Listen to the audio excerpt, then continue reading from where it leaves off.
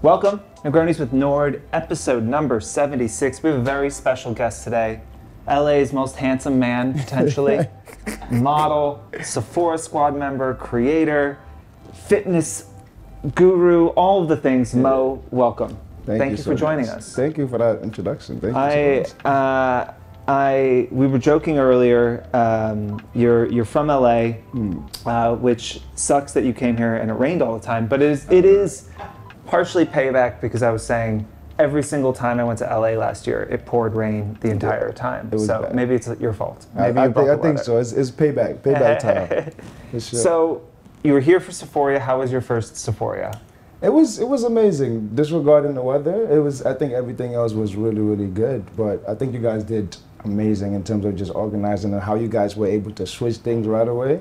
I think you guys did really well. But I had I didn't do time. anything. I Yeah? did, not, I did literally. Your team, as you yeah, say, they did exactly. I paid the bills, but I didn't do anything Yeah, else. no, I was just like, I feel bad. I know they're not sleeping right now, but everything else worked out very smoothly. They so. did a great job. They were lots of pivoting last week. Yeah, I can see that. Um, but the squad was was really flexible as well. I feel like we got all the content. It was exciting. Mm-hmm. Yeah. Who was your favorite brand? Like, what was the brand you were most excited to see at Sephora?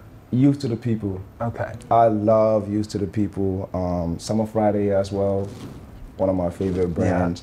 Yeah. I just tried out their moisturizer and it was amazing. They're so good. Marianna's been on the show before. Amazing. Yeah, Amazing, she's amazing. sweetheart. Yeah. Shout out Marianna. We are going to talk about you. We're going to talk about skincare. We're going to talk Mm-hmm. about the industry, all the things today.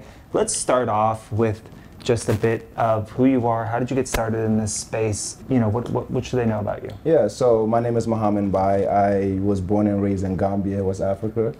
I moved to the US in 2010 or so. And, you know, right away I was super excited when I first moved. But, you know, quickly my excitement turned into kind of like a bit of a horror because I started to get picked on because of my dark skin, because of my accent. And so it took a toll on me a lot, you know, and because of that, I struggled a lot with, you know, self-confidence and I was very insecure with a lot of things. Like I felt like even having conversation and being able to look at somebody face to face, I wasn't able to do because I was just so cautious. Like, okay, what is this person thinking? What is this person thinking about? And you know, fast forward, you know, went to college, um, and then right after college, I just was like, even while I was in college, I was like, I really want to start talking about my experience and helping so many other you know people that look like me because I know so many other you know people are struggling with the same things that I was struggling with. So that's when I first started my YouTube channel talking about dark skin, talking about how to appreciate and how to love your melanin and, and things that that sort. Kind of like got into social media, started modeling, and I, I, saw like how much confident I I gained, and I saw like how my work was impacting so many other people. You know, people like you know, you make me feel so comfortable. You make me feel like I can do it. You make me feel like I can appreciate myself and and deserve to feel beautiful. And from that, I just started, and you know, that led us to to here. Yeah. Yeah. So you started with YouTube, then Mhm. probably onto Instagram, onto TikTok. Yeah. When did it start like really working for you? You know, when did when did I feel like most content creators, you know, they start from this place of like wanting to help or just being interested in creating content, right? Mhm. And then you have a moment where you feel like, oh shit, like I might be like good at this. This might like this might be something I could do for a job. What was Yeah. that moment for you? for me, I, I always knew that I wanted to do content creation. I always knew I wanted to be in a position where I'm able to help people. So to me, it was a non-negotiable. I'm like, no matter what I'm doing, I'm, I know for a fact that I'm always going to be doing this.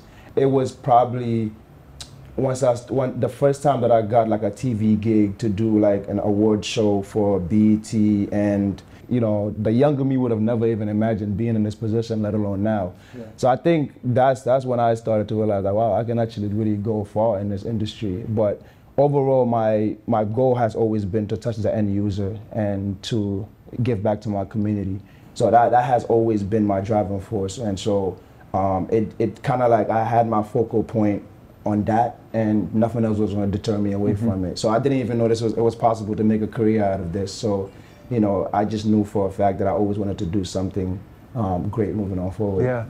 What is what is your community like? Is it um, you know is it mostly men? Like what's I feel like uh, sometimes you know a lot of the men that are creating in the beauty space Right. the demographics of their audience can be really different what is Yeah. what is what does your community kind of look like who are you speaking to? yes, I would say my community is a 60 to 40. Yeah. So before, uh, it's funny because before when I used to just, you know, post modeling pictures and whatnot, it was probably like maybe 70 to 30, 70 women, Yeah. 30 men. But now that I've been talking about a lot more topics that I feel like men can relate to, my demographic definitely has shifted to a more of a balance to where uh, actually more men than um, women currently. Yeah. to creators and influencers ask and want us to talk about is like how do you how do you transition your content into some a new category? How do you you know introduce new topics that you're interested in? And you know you started by talking about you know belonging and accepting yourself right? And then you you moved on to maybe introducing modeling and Right. and photography you know then a pivot to beauty is like uh, is is a like a fairly large one so i would love to talk about like you know and maybe we'll we'll focus on beauty um, as that's been more recent like Right. applying for sephora squad introduce you know which is which means that like there's going to be a lot of you know contractually a lot you have to talk about skincare and beauty a Yeah. Mm-hmm. lot right how do you think about introducing that how did you get your audience ready for that and what's the reaction been Um, uh, the reaction has been actually amazing. I feel like the way that I create content, I create content, like I said, just based on the end user. And what I realize is that, you know, I'm having a, a human experience just like anybody else's. So I don't want to put myself in a category or in a box, even though I, I love fashion, I love skincare, but I also, if I want to talk about mental health, if I want to talk about the struggles that I'm dealing with, I'm also like willing and more than open to talk about those things. So I feel like my audience is already so flexible in terms of me being able to jump from topic to topic without seeming like I'm talking about something that doesn't necessarily uh, relate to me. So I'm very much so creating content based on my own personal experiences. And so I realized that like, you know, my audience is very, you know, acceptable to anything that I'm talking about, whether it be, you know, talking about semen retention and all of these things that I feel like most men don't necessarily get to talk about. I'm able to talk about with my audience and I realize that even, you know, my women audience, my women audience also, they're like, oh, you know, I've actually been thinking about, you know, exploring in those, you know, you know, realms and things that are short. So my audience is very much so, I feel like open to whatever I have to talk about or whatever content I, I get to create. That's the dream, right? That's great. Yeah. Um, do you think though about how to, you know, even with the skincare and the beauty work that you're doing, do you think about how to like, how to introduce it, right? Because if if I am a skincare influencer and that's all I talk about, my mm-hmm. audience is following me for skincare, Right. I can just jump right into it, right? I mm-hmm. can just be like, hey, okay, today we're going to be talking about this new moisturizer, or we're going to be talking about retinol, or you know whatever it might be. Mm-hmm. Do you have to like do a little work in storytelling about like why should men care about skincare? You Abs- know, absolutely.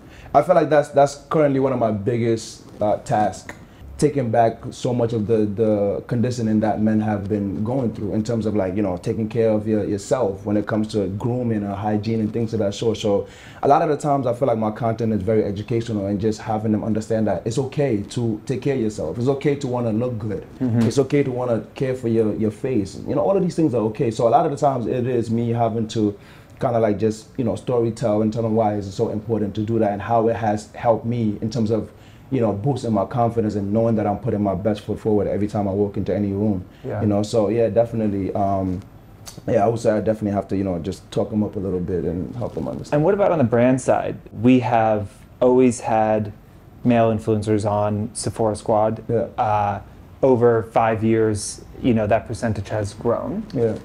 I think it's a category that they're interested in expanding, getting mm-hmm. more men into the stores and, and shopping there. Is there any education you're having to do on the brand side to say, hey, no, this is like, like, you know, if you're a skincare company, mm-hmm. you know, a lot of times we might do a campaign and, and this would be outside of Sephora, but Right. it could be 20 influencers and it's 20 women, Yeah. you know. Absolutely. I think that's what my agent and I are currently working on is how can we set up these meetings with these brands, you know, to where we are able to bring all the issues that I feel like men are facing when it comes to like just feeling like advertising or the products are not necessarily being marketed to them, whether it be the packaging or just feeling like you know they are left behind every single mm-hmm. you know step of the way. So I guess my my manager and I are currently working on really just you know setting up these meetings and seeing how can we make men more inclusive or more included in anything that has to do with beauty related, whether that be a campaign. And it's I feel like I, I don't understand why brands are not paying attention to this because it's like there's a whole you know demographic of people that are just being shunned away and mm-hmm. being looked down upon, uh, so to say.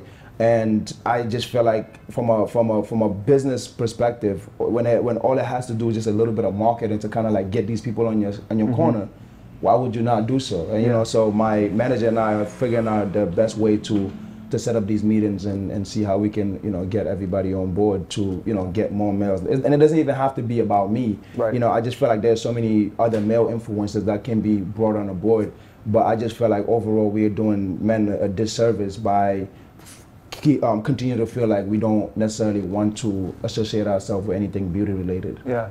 Do you feel like your experience in the content you created initially right that feeling of not belonging of like uh, feeling different. Um, you know, is that like what is driving the passion behind trying to like get these industries to to accept this group more and understand that like this is something you can market to and can be part of your campaigns and and potential customers? No, absolutely. Like I said, very much so. All of the things that I do are very much uh, experience driven. So I remember the first time that I ever felt comfortable, and I wasn't even, I wouldn't say comfortable to walk into a Sephora store was maybe two years, two years and a half or three years. Mm-hmm. And for, so I always saw, saw Sephora, but I never really like understood what Sephora was. For, for me, I always thought it was just makeup. Yeah. You know, and until this day, every time I say something, oh, I work with Sephora, that's the first thing. You don't do makeup. Why do you, mm-hmm. you know, why, what are you working with them on, mm-hmm. you know? And not realizing there's so many, other things that they can get from Sephora, you know. But I, I felt like just the feeling of almost like intimidation walking into the store and the feeling of like, are people gonna judge me or are people gonna, you know, look at me like, what are you doing here?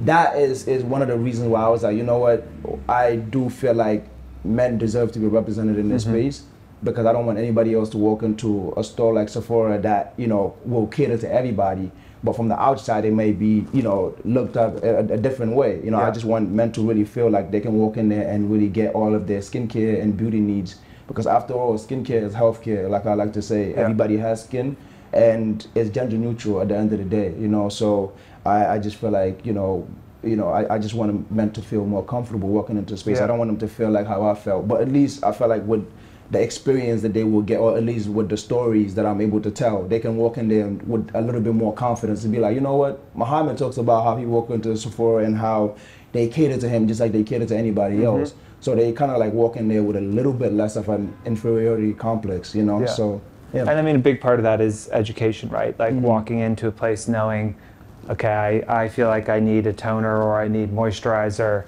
uh, or I want some concealer um, rather than just walking in and being like, I don't, yeah. you know, I don't know what I want. yeah. I'm like, I'm like walking through, yeah. you know, this like, you know, looking at all of these like eyeshadow palettes, wondering like, what the hell am I, I supposed to do with any of this, right? And I'm sure you've had a lot of, of people that you have influenced who are like, hey, I like, I never thought about this, right? I use the five in one yeah. product and, uh, and like never thought, you know, I was putting hand lotion on my face for 15 years or yeah. something. Mm-hmm. Um, do you think there's a product that like once you get guys to realize like hey you should invest in this mm-hmm. or like a nicer version of this that they kind of like it like clicks and they they get it i feel like cleanser and moisturizer so i would say those two very very important because like you just saying soap you know is, is something that is very very important but i feel like a lot of the time men resort to going back rubbing to a bar of soap rubbing a bar of soap. You know, this is I'm not gonna name any brands, but certain brands you while you're washing yourself, I'm already feeling ashy. Yeah. I didn't even get out of the shower yet. I'm already feeling dry, you know. So I can only imagine put how that impact how that you know impacts my body, let alone to my face. But I yeah. just feel like I just want men to just understand that what you put on your body matters. You know, mm-hmm. ingredients are very, very important to me. And I just feel like, for the most part, we most men have to resort to men's skincare. We all Yeah. know that's there's no such thing really. Yeah. You know, skincare works for anybody.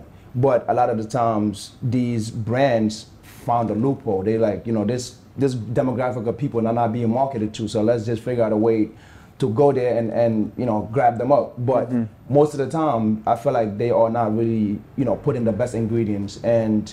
Um, because it's not as regulated as let's say brands that are in Sephora. So for the most part, they get away with using harsher chemicals and things of that sort. But I, I just want men to understand that what you put on your body matters, and you know the quality is is everything. So you know, I would definitely say moisturizer and and washer are definitely those two things that I get asked about the most. Yeah. But I also think that those are the very much important things, especially starting out a skincare journey. You just add a you know SPF on there, and you know You're good to go. you're good to go. There we go. Yeah. You know, start you know start doing some Botox when you maybe hit 30 or so.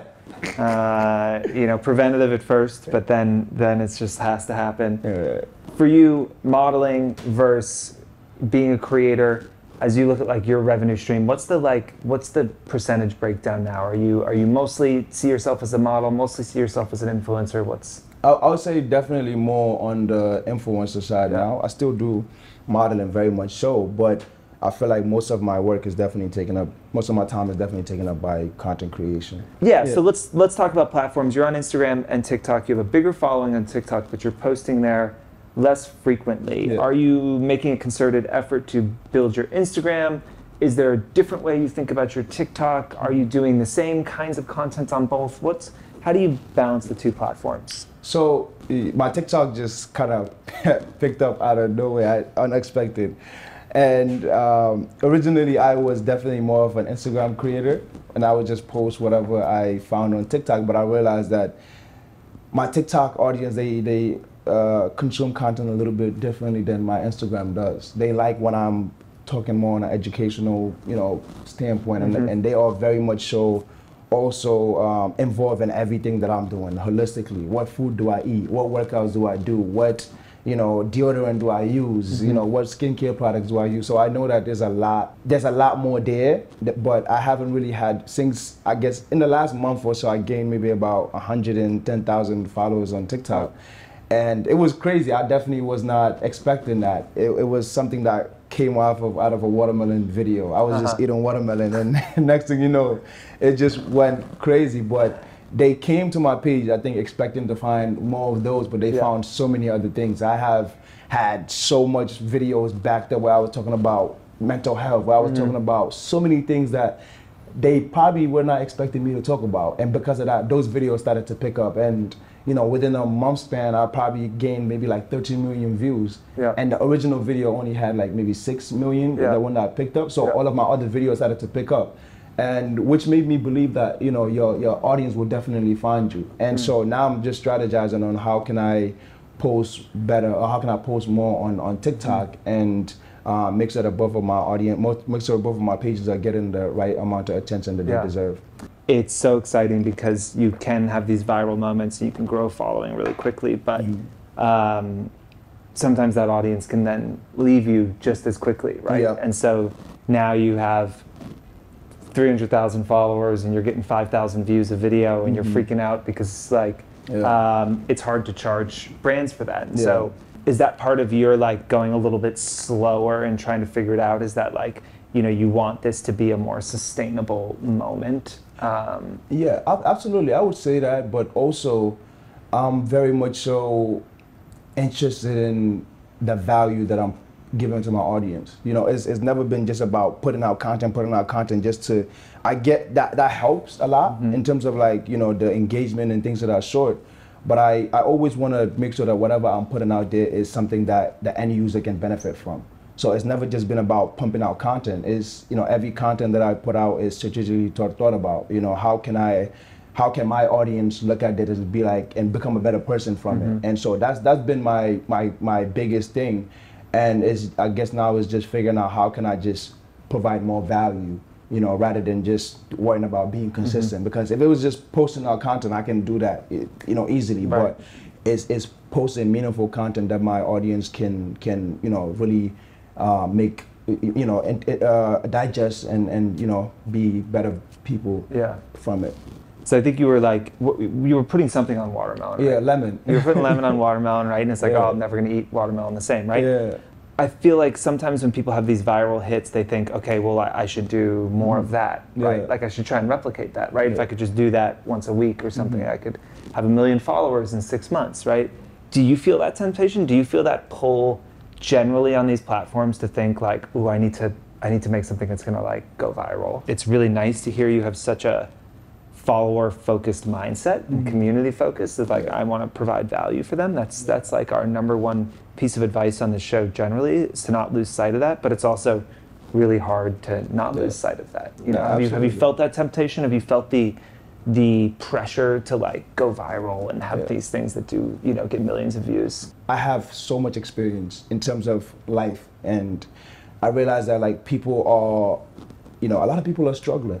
A lot of people are suffering with so many things, whether it be mental health. I, I talk about food a lot also. I talk about healthy foods that people can mm-hmm. benefit from, but that's something that I feel like people can go to the store and be like, okay, I'm gonna make a better choice rather than just you know um, resorting to or resorting to the same thing that I was that I used to do. So I would make a video talking about you know things that I eat and things that I buy and things that I short, but um, I never really I never really thought about making another video like that. Maybe I will, but that's that's never been my my focus to go viral. You know, if I look at my I guess my follower count, like right now is about 200,000 people on my Instagram and mm-hmm. TikTok combined together. Mm-hmm. That's a lot of people. Yeah. And so my focus is how can I serve these people as best as I possibly can. If it was just going viral, just you know mm-hmm. taking your shirt off and it it, it, it, it will be done. You know, it's it's easy. Well, I wouldn't But- go viral if I took my shirt off uh, myself, but yes, maybe for you that makes sense. you know Yeah. but I, I just be like you know just also building that community of people that are like-minded Yeah. you know and I want to definitely build a community of people that are wanting to make the world a better place Yeah. you know and so I don't take that lightly so if, if I just go viral and whatever the case may be things you know it's, it's all different type of people will come to my Yeah. page but I just want the right people to you know help me grow through this journey we call life and and I want to pour back into them as much as possible so Yeah. they are my top priority then you know getting new users to join my my page That's that's lovely. One of the first times I think I became more aware of, of who you were. We were getting ready for the Sephora Squad launch event, and um, Susanna, who runs the Sephora account, was like, "Oh, uh, one of the squad members has asked to give a toast at dinner," and like wrote us this email and and said he wanted to give a toast and sent a copy of what he was going to say. Is that okay? I was like, "Yeah, I mean, uh, you know, yeah, of course." But like, that's not something that's that's pretty what's the word um, like bold Unusual. yeah unusual then watching you interact in that whole weekend i felt that um, you know you had a real awareness for um, i think who you wanted to talk to relationships you wanted to build you know lots of gratitude making sure you were going up to the clients thanking them. Um, just like talk to me about how even as you thought about that weekend, you know, um, with the whole Sephora team there and 70 squad members out in LA, like how how conscious was the choice of being like, okay, this is what I want to get out of the weekend, this is what I'm going to do, or is this just kind of like who you are and how you operate? Yeah, that's I would say it's how I am and how I operate. I very much so think of, like I said, people. I put people first before anything, and so when I, you know, was thinking about the whole Sephora Squad event, the first thing I was like, you know, I I do I feel a bit intimidated. I don't know what to expect. I've never met any of these people, and I just know for a fact that people are going through the same emotions that I'm going through. And so I'm just like, you know, let me just give a speech and let them know that like you deserve to be here. You know, your hard work put you here, and you know, um, all of the years that you have sacrificed is what led you up to this moment. And I just knew that it would just make everybody feel so much lighter. I'm very much so the type of person that you know I I don't like fearing things. Whatever I fear, I want to do. And so thinking about giving a speech, it was like a bit nerve wracking. But I'm just like, so what's what's the worst thing that can happen? I mess up. It's I'm human, you know. And so throughout the whole you know, weekend, I just wanted to make sure that I build um, meaningful relationships, not only with the organizers, but also with the other squad members. And, you know, every room, every place that I go into, I want to just provide as much value as possible. And knowing that I've, I've been able to garner these skills from, you know, high school, being a senior class president and giving a speech in front of a thousand people, I know that I have built the skill to be able to get into, I don't care if it's 10,000 people or 100,000 people, everything that I'm saying comes from the heart. And so I'm not, it doesn't really, you know, nothing deters me away from mm-hmm. being able to put myself in a little bit of an uncomfortable position to make sure that others feel appreciated and felt related to. You know, what you said that there's people in that room feeling the same thing. I mean, even on the brand side, you know, a lot of them, they haven't met anyone, right. you know, and, you know, they're maybe shy about going and speak, going up and talking to people. Yeah. Um, but also like, you know, it's it, it's a seemingly small thing, but being able to go up to, to someone at the brand and say, hey, I really like, I just really appreciate that this, and just show appreciation, excitement, and like, if you get to do that in person, great. If not, like, doing that through your posts and showing that excitement. I mean, you know, these are things that that these posts are getting seen by senior leadership. I mean, we get emails forwarded all the time from, you know, 30, 40, 50 billion dollar companies mm-hmm. from their CEOs being like, I love this post. Right. Look at this post. Oh, this is great. It's got thousands of likes and look at all the people in the comments yeah. talking, you know, this this stuff gets them excited, right? Yeah. And, and and I think that like you just did such a good job of like taking that moment, I feel like, and really like having it focused on yeah, like the community that was there. You really felt that, right? That you wanted to get to know the people at Fohr, you wanted to get to know the squad, you wanted to get to know the people at Sephora, the brand founders who were coming in to speak to us and give us their your, their time. Mm-hmm. But all that to say, I think it felt really uh, it felt really authentic, and. I was I was really impressed with it. And I think it's just a such a good reminder to to creators that. Um, this business isn't just about content. Absolutely. Right. What are your What are your goals? Where does this take you? What do you want to What do you want to do with this? Where do you see this all going for you? Yeah, I definitely want to build with brands.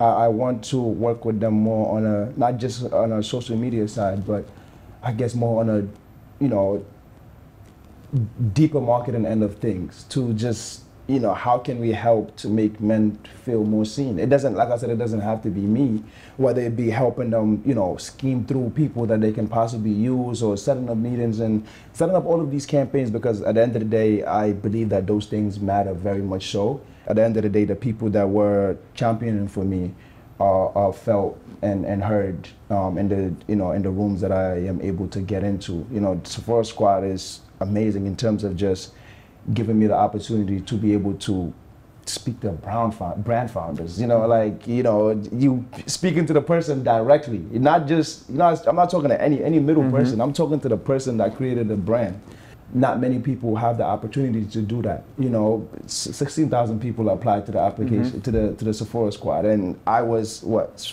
out of 50, yeah, one, 60 people, one out of 60 people, something like that. You know yeah. what I'm saying? So that is really really huge, and I'm just like, what other person is gonna have the opportunity to get the position that I'm in, but also have the same mentality that I have that is not is bigger than me. It's so much bigger than me. I have a lot of testimonials that really impacted me so much in my creative journey and still to this day, every time I feel a little lazy, I just think about those people that are like, wow, like, you know, there's this one that was like, they wrote me a, uh, a testimonial in the email and that I really appreciated that. And it was just like, I helped save their life in terms of just I talk about a lot of mental health and a lot of the things that I was struggling with, and I just felt a, a sense of loneliness, and it was just like you know the fact that you were able to you know get on here and talk about and be vulnerable and open up to you know hundreds and potential millions of people to see you um, struggle eh, you know and in that sense it just made me realize that i can go into a room and talk to somebody one-on-one that can help me yeah. you know get my life together. And that to me was so meaningful to me. And but you know so i got so many testimonials that really like put things into better perspective for me that i realized there's so much bigger than just you know selling a product. It's so much bigger than just you know wanting to get famous or wanting to get you know mm-hmm. these viral videos because i'm like people are having a human experience and people are struggling like i said and i i once remember being very lonely and so being able to you know help impact people in that sense was just you know so life changing for me, and I'm forever grateful for for for the for you guys having the testimonial process in place. That to me was even if I did not get in. I know this is something that a lot of people say, but just hearing the level of impact that I was able to have on my audience was was more more more than anything that I could have ever asked for. That's one of the things that's so amazing. People are like, oh, do, do you get a lot of like pushback or, or anger about people who don't get in? You're like, no. Like, Yeah. people are just Grateful. proud of themselves for doing it, grateful to get the testimonials, Absolutely. you know. Well, I love that. And we will be watching and listening Mm-hmm. and cheering you along and, and excited to, you know, continue working with you this year in Sephora Squad and, and beyond. And, and congratulations on all the success. And, and thank you so much for taking the time. Thank you so much. It's my pleasure.